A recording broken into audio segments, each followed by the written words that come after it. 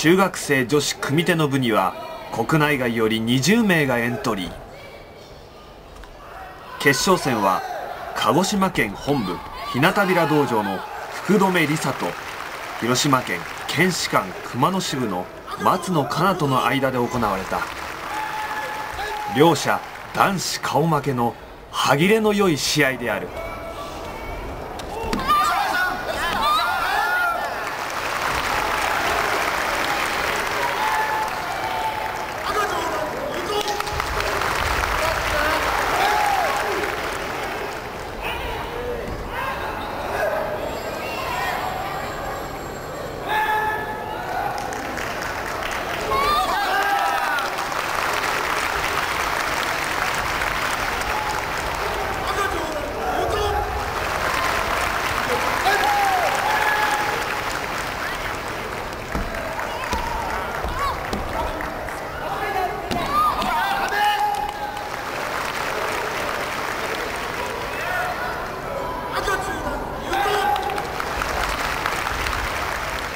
優勝は鹿児島県本部日向平道場の福留梨沙が勝ち取った。